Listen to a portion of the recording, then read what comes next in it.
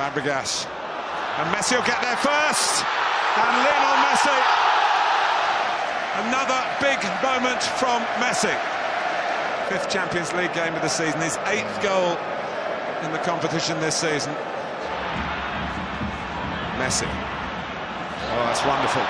Last company. There's no flag against Neymar. Position chase and try and get it back, and that's wonderful from Messi.